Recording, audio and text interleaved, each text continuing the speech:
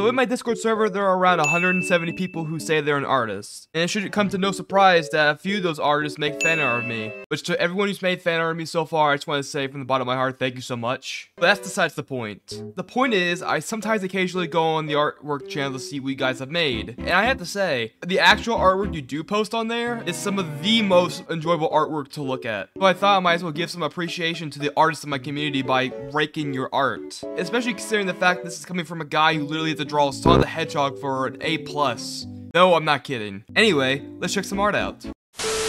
Okay, so first up we have this one from JP. And if I'm being completely honest, it looks like just the average furry. Like, literally just the average furry. It just feels like one of those like furry templates you can just use to like make your own recolor of your avatar or whatnot. It's still good. It's, I like I like the cartoony uh like look of it with the eyes and whatnot. And I know not everybody is talented at art. Like I can get behind the design. So I'm gonna give this one a seven. Alright, next up we have one from... Actias vulpis. It looks like some kind of a sketch of something. I, I can't tell what that is exactly. It kind of looks like an anthropomorphic bird, like an alvi, alvi, whatever it's called.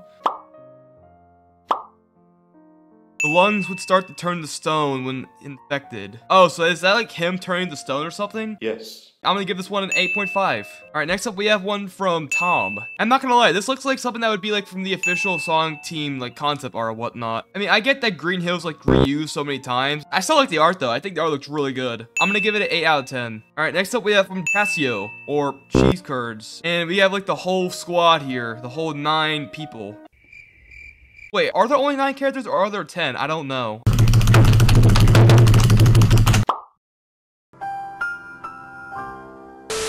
It's it's a nice like little design of like all the uh, TF2 characters. I like it. I'm also gonna give this one an 8.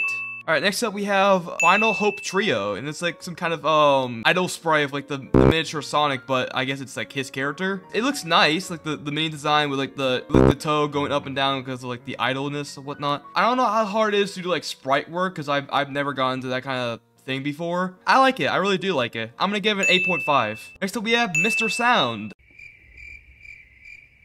Is that supposed to be like box 10 from like Dandy's World or something? I, I don't know. I, I only played it like twice and I'm just going off of what I see like in the message. I'm guessing that's supposed to be some kind of like um pajamas or like beige wear or something. I, I can't exactly tell what it is, but I like it. I'm just gonna give it a 7 out of 10. Alright, next up we have one from Clover. And, uh, you can definitely tell this one's supposed to be more gruesome. The chainsaw and the bat coming out. I'm pretty sure we all know that's blood. I'm not gonna sugarcoat it. It's a nice looking, like, nightmare design, even if it's kind of hard to see with, like, the pencil outline and whatnot. It's still really attention to detail, and I like that, like, especially with, like, the giant eye. I'm, I'm gonna give it a 7.5. Next up we have Traka. That actually looks like an official, like, frame from the show. I mean, I, I never watched Dragon Ball And any anime for that matter, but just by going off what I saw and like memes and whatnot, that looks almost identical to what um would actually be in the show. If that was like done by memory and not by tracing it whatnot, I, I think that's pretty dang impressive. I'm gonna give it a 9. Next up we have one from Tank, and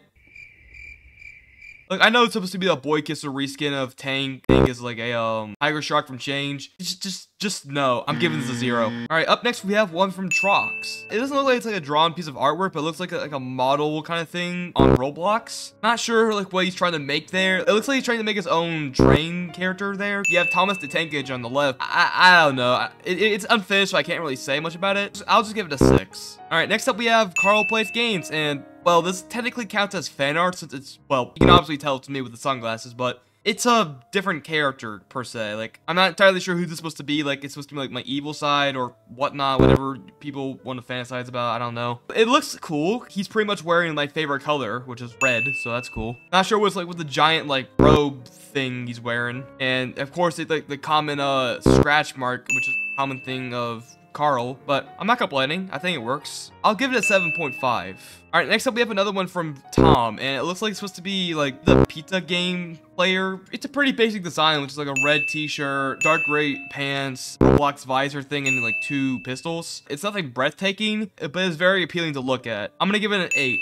All right, next up we have Wasai. I'm not entirely sure who this is supposed to be. Is this supposed to be like his um his avatar or something? I mean, I can't exactly tell. I don't really know like people's OCs and whatnot. I'm just going in blind here. But I mean, it looks nice. He kind of looks like he has a prisoner look to him, like with the um orange and gray like jacket slash shirt he's wearing. But hey, I dig it. I'm gonna give it a seven. And last up we have Bappel Apple, which uh you can definitely tell this guy right here has like an obsession with furries. Look at the background. You have Pro Shocked Frame just like right there. You have like a Projin right above him. That It's that one picture of like so many freaking Changed plushies. God dang. Slug Cat kind of right there. And I don't even know what that is over there because that's supposed to be like a low tier god kind of furry and boy thing. Uh, That is not correct. I, I don't know. I like I like the render though. The, the render looks cool. So I'm gonna give this one an 8.5. And uh, yeah, I think that just about does it. Thank you. artists. Yeah, this might have been a short video, but it's a video I've been wanting to make for a while. And also, and also because I couldn't really record any like the gameplay videos I wanted to do for a while because I was so busy this week. But really, you guys make some great artwork. I just want to let you guys know that. Hopefully this weekend I'll be able to record those gameplay videos I wanted to do, like the continuation of RL Craft, uh, possibly Dandy's World, and another attempt at Doors Floor 2. Because I've been wanting to do those all week and I really haven't been able to since, again, I've been busy with work and school and all that in, between. But yeah, thank you artist. I am going to commit suicide.